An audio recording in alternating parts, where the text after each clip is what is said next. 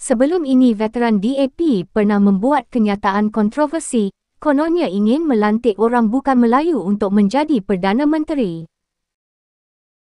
Tidak cukup dengan itu, kita dikejutkan pula dengan usaha pihak tertentu yang ingin memartabatkan kampung baru Cina di Selangor sebagai warisan dunia UNESCO. Tindakan tersebut jelas menimbulkan rasa kurang senang kerana banyak lagi kawasan perkampungan Melayu dan tempat bersejarah yang lebih layak untuk diiktiraf sebagai warisan dunia.